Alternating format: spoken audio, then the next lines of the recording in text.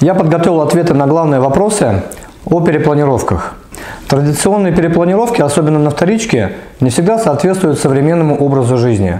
Вот почему так часто хочется перенести стену, объединить комнаты или даже квартиры. Меня зовут Евгений Корсакин, я юрист-эксперт по недвижимости и сегодня расскажу вам, как сделать это грамотно и законно. Ванная комната и туалет. Стандартная ситуация – это объединение ванной комнаты и туалета. Это достаточно распространенная практика, и, как правило, такую перепланировку можно узаконить по факту.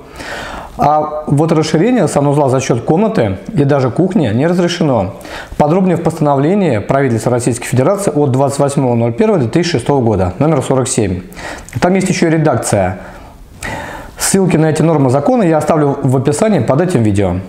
Дело в том, что эти помещения относятся к мокрым зонам, а значит они не должны находиться над другими по назначению помещениями соседей. Например, над жилой комнатой. Для квартир на первых этажах Правила не такие строгие, и перенос сделать можно, даже если под ними находится офис, магазин или другое нежилое помещение.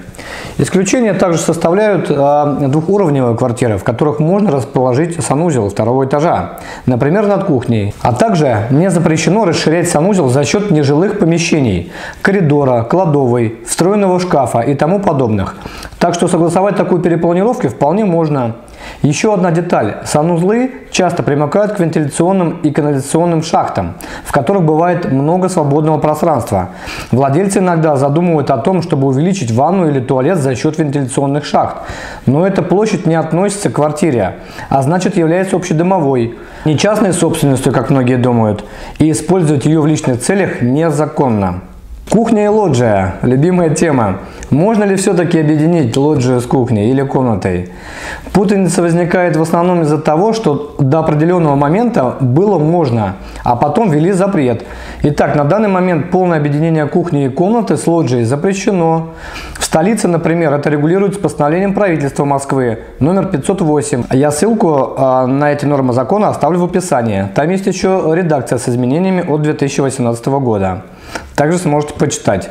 Там прописан запрет на объединение лоджий, балконов, террас, веранд с внутренними помещениями. А также существует постановление о внесении изменений от, 20, от декабря 2017 года. Ссылку я также оставлю в описании под этим видео.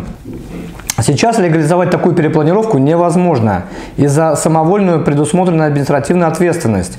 Но встречаются проекты, где такая перепланировка легальна, если ее провели до запрета то ее могли узаконить, а обратной силы закон у нас, как правило, не имеет. Дополнительные перегородки. Внутри одной комнаты вы можете построить неограниченное количество дополнительных перегородок. Единственное ограничение – нагрузка на дом.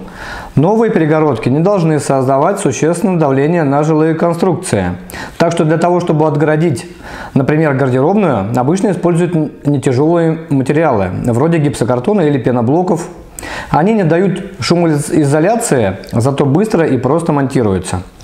Кухня и комната. Самая типичная история объединения кухни и гостиной в двухкомнатных хрущевках. Например, его часто делают в популярной э, кирпичной серии домов, где внутри квартир нет несущих стен, но позволяет менять конфигурацию квартиры на свой вкус. Однако в таких домах традиционно проведен газ, а объединять газифицированную кухню с жилыми помещениями запрещено.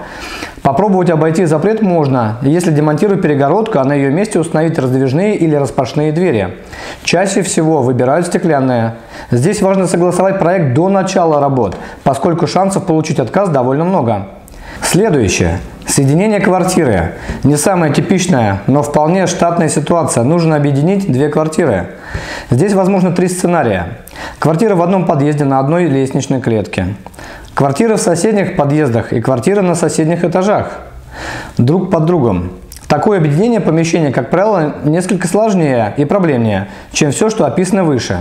Однако возможно. Легче всего получить разрешение на объединение соседних квартир на одной лестничной клетке. Однако тут важно не затрагивать регель, который находится сверху, что актуально для полублочных и кирпичных домов. На несущие стены тут не будет скидок, их трогать нельзя. В крайнем случае вам могут разрешить сделать в несущей стене проем, однако его ширина обсуждается и согласовывается индивидуально. В панельном доме не согласуют проем более 90 см. В монолитных и кирпичных домах можно надеяться на 110 и 120 см.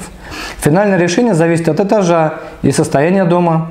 Объединение квартир на разных этажах затрагивает потолочные конструкции и предполагает монтаж лестницы.